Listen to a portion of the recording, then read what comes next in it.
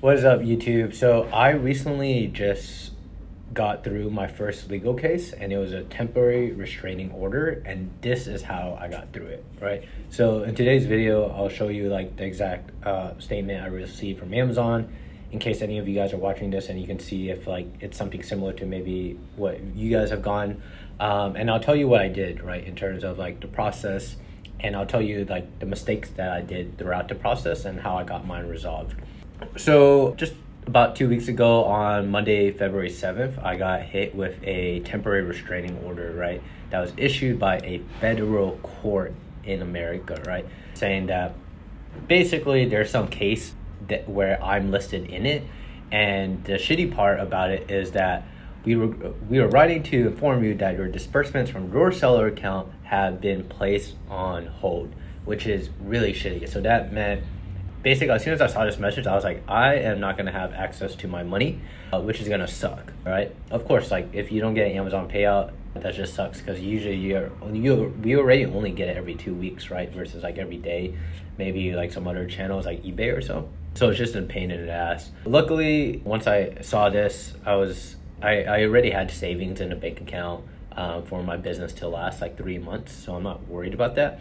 But I did let my team know right away, like, hey, we do have this issue on in place, uh, and we have enough funds to last us three months in case anything, in case this doesn't get resolved.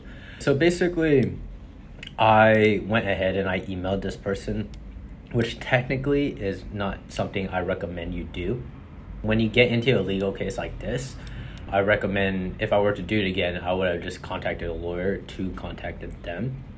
But what I did was, so as soon as I got this, uh, I started doing some research, uh, googling, YouTubing. Um, but the best uh, source of help was through MDS, which is where this hat's from. So this is the Million Dollar Sellers Club, which is the Amazon focused mastermind. Um, I've been in it since the very beginning, and I highly, highly highly recommend it if you have uh, if you're doing at least seven figures or more in your Amazon business.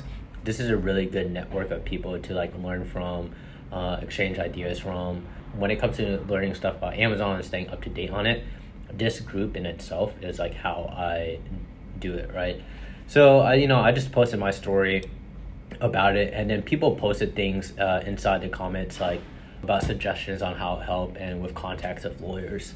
So what I did was I contacted three different lawyers. Well, I guess right before that, let me just tell you what I did, and so you guys don't do it. What I did before that was I actually emailed this guy Ben at Masco Law, and he was just like, uh, he was like, oh, could you send me the sales history of the ASIN of this ASIN, right? And I sent it to him. Technically, uh, after talking to other lawyers and all my friends, you should never give just give over information like that so easily to like I guess the enemy right? In this situation you should only do it through your legal team right? So I sent it over to them. I tried looking up like this company couldn't find anything about them so it was like a pain in the ass. Luckily I only sold 60 of these items so it wasn't even that big of an issue if we were to like get in trouble for it in my opinion because you know 60 items is too much in damages unless it like really really costs us a lot the item itself was a pistol speed loader uh, this is from the wholesale side of my business not the private label side and uh, basically because i wasn't able to find a case or really find any other details around this when doing googling myself i was like all right it's time to bring in a lawyer to make sure this gets resolved because you know, I want access to my funds, right? And so what I did was based off of the recommendation of the group, I talked to three different lawyers. I talked to Amazon seller lawyers, which I have used in the past before with success. I talked to Mario with sqgo.com. Um, and that was a very positive conversation. And then I talked with Casey Hewitt, who I ended up hiring. All three are like solid recommendations. I would have felt comfortable hiring all three.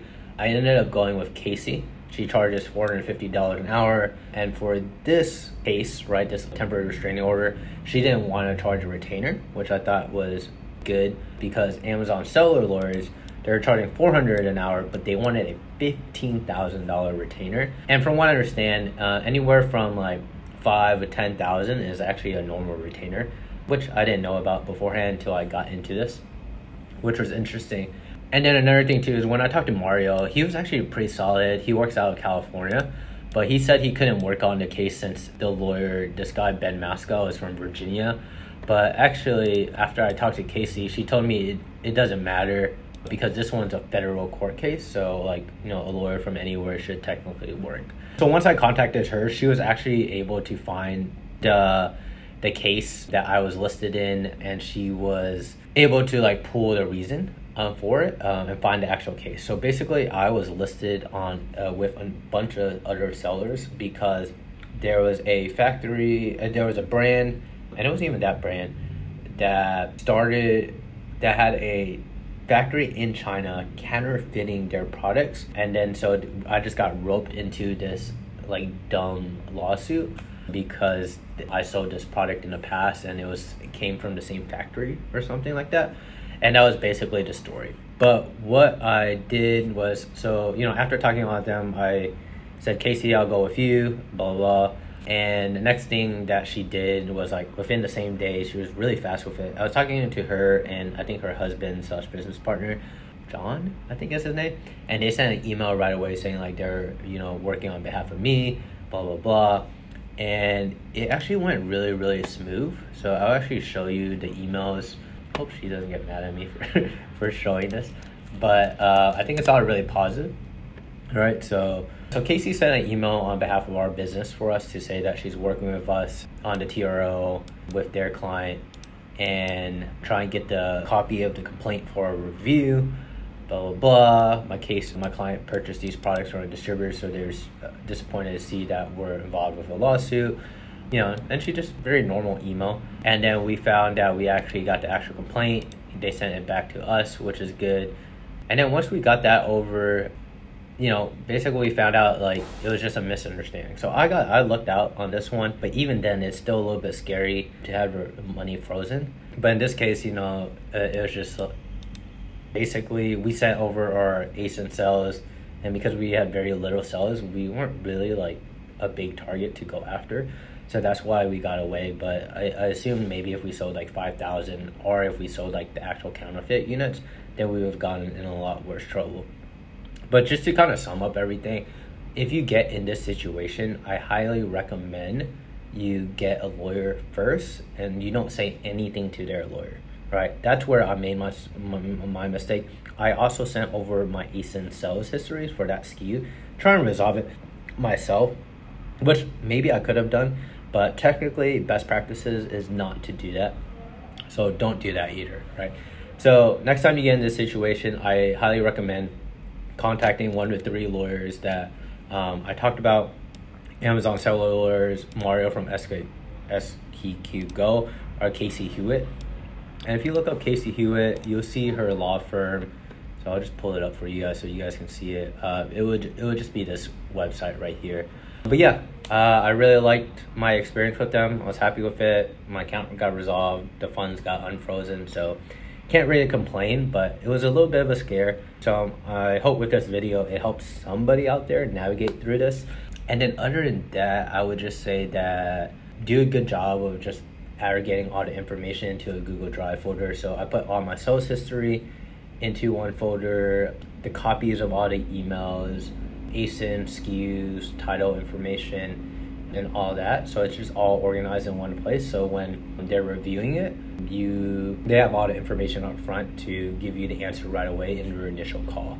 Oh, the one thing I also say about Casey too is uh, she didn't charge a retainer, but she does charge a consultation fee, which was like I think two hundred fifty dollars. Um, while say like Amazon seller lawyers and Mario didn't charge a consultation fee, so just be aware of that. But other than that, have a good rest of your day. I hope this video helps somebody out there. Stay safe. See you guys.